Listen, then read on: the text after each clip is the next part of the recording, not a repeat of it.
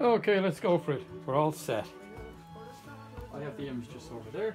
Hopefully you have your image. You might have printed it out, but it doesn't. You don't really need it uh, because I'm going to guide you anyway. Okay, just have a sip of tea first.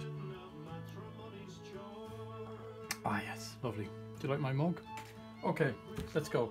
What we're going to do is we're just going to use our white pastel pencil or pastel stick if you have it, soft pastel, or a piece of paint on, on a brush. I just prefer to use the pastel. And basically, we're just going to get in uh, sort of converging lines like that, okay, first of all. Can you see that? Just converging lines there like that. Then we're going to do the same here, converging there like that, okay. And you can actually bring this line down more, okay, that's going to come down there.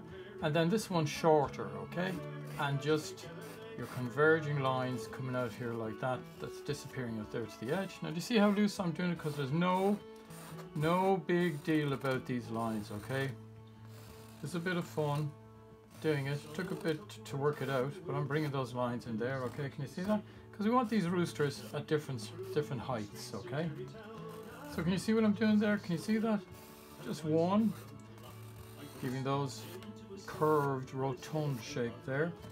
You see that? Like it's just, uh, just basic shapes, really, if you think of them converging the lines all the time, okay? And then next, we want to get in I think it's called comb, is it on the top of the head? And all we're going to do is, it's like got a few little uprights like that.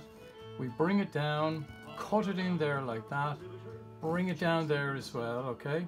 Because what you want to do is you want to leave a little bit of room for his beak. Can you see that? And then we bring it back out here again, down there like that, and then a little guy out there like that, okay? So we have that in. Now we can make it even bigger if you want. Then we go on to the next guy down here. He's lower, okay? So we have him down like so. Have it put in his beak first, coming out there like that, okay? So you get a better, better handle on it. Then his comb is going to come up here, around there like that. Same idea. It gets higher as it goes towards the back. Then it comes in there, back in around like that. You can have that yellow part going in there. And then the same idea, a bit frilly at the edges like that, okay? Out there in front, curving back in, you know? To give a nice curve on it there, okay? Can you see that? I'm going to bring it out there as well like that. And that's one, two. And what we can do is, just so as you can make sense of it, just put a little circle in there, just so it'll make sense for you where we are.